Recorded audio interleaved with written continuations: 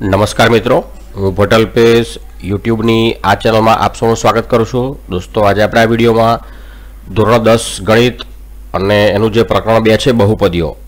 એનો એક સરસ મજાનો દાખલો જોવાના છે. દાખલાની રકમ આ પ્રમાણે છે.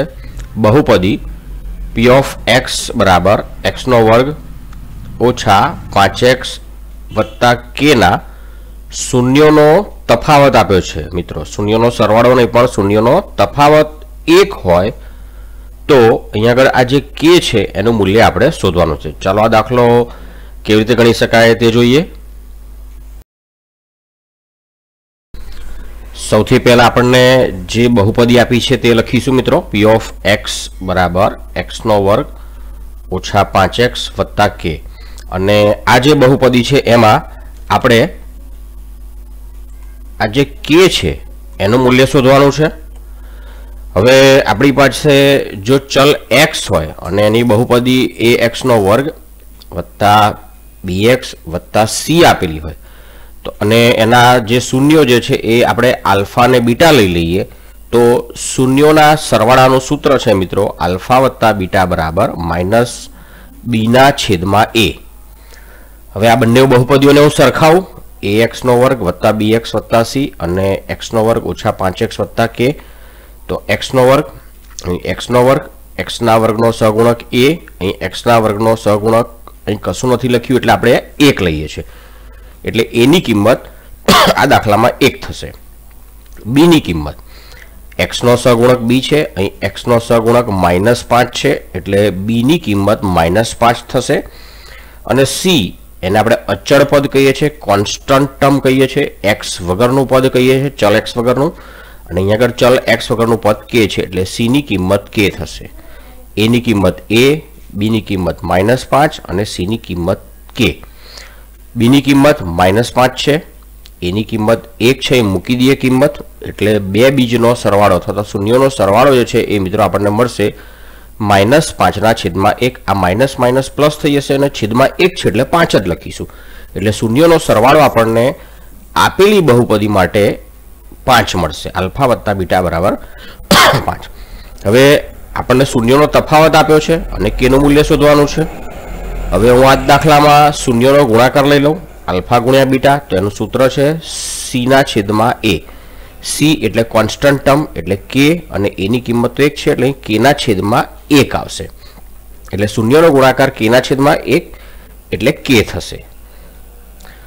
હવે આપણી પાસે શૂન્યનો સરવાળો આવી ગયો. શૂન્યનો ગુણાકાર આવી ગયો.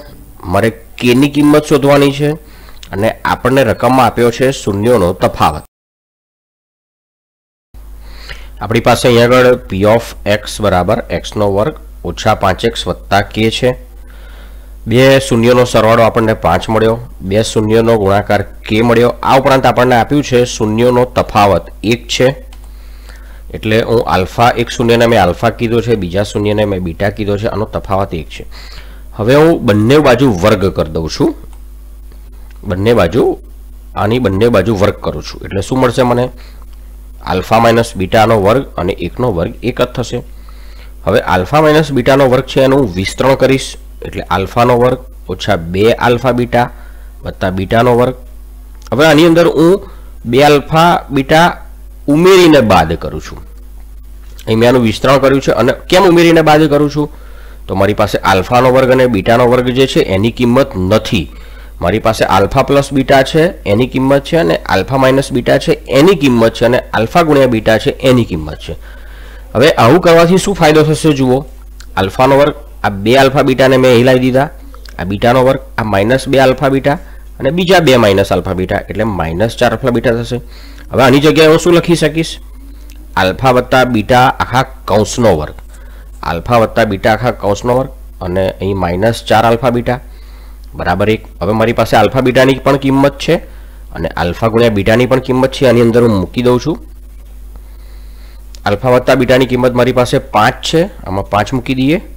એટલે પાંચનો વર્ગ અહીં ઓછા ચાર આલ્ફા ગુણ્યા બીટાની કિંમત કેટલી છે? કે, એટલે કે મૂકી દઈએ, પાંચનો વર્ગ કેટલો થશે? પચીસ.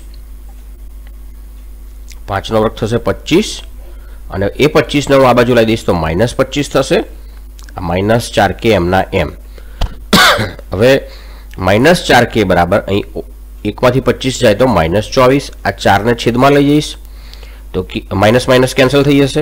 અને ચોવીસના છેદમાં ચાર ચાર છંગ ચોવીસ થશે, એટલે કે બરાબર છ જવાબ આવશે. એટલે આ દાખલાનો જવાબ જે છે એ છ આવશે મિત્રો.